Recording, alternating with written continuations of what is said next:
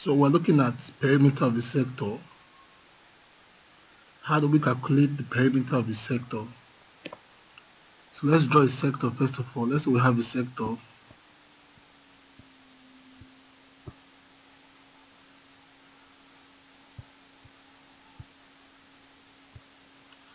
And this is O.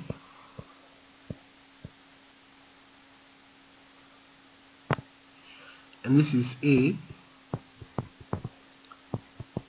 and B. This is sector AOB. We have sector AOB, AOB, AOB. How do we calculate the perimeter of this sector AOB?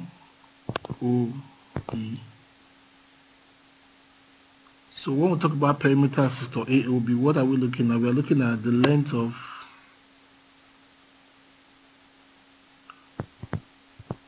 length of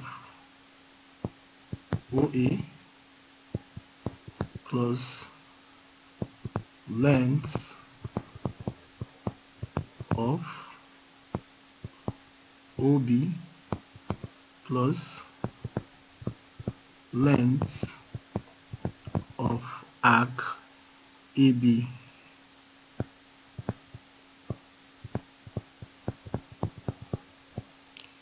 that's length of OA plus length of OB and plus length arc AB.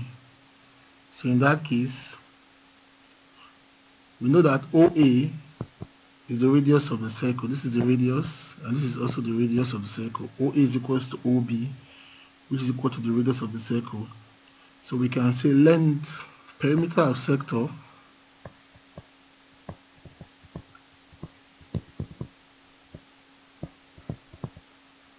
sector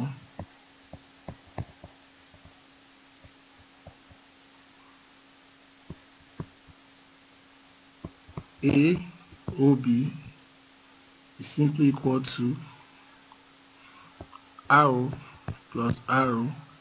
This r is length of OA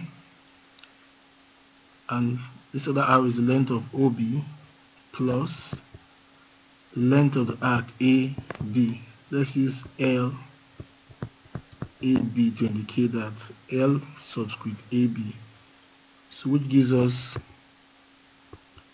2 r plus what's the length of an arc? Theta over 360 times 2 pi r. So this is the formula for the perimeter of a sector so let's write it out boldly. Perimeter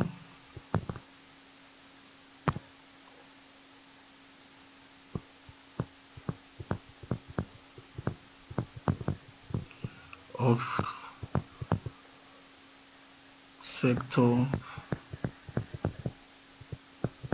AOB is equal to 2 r plus theta by 360 times 2 pi r where we know r as the radius of the circle. So this is the formula for the perimeter of a sector. So in our subsequent video we'll see how we can apply this formula for the perimeter of sector AOB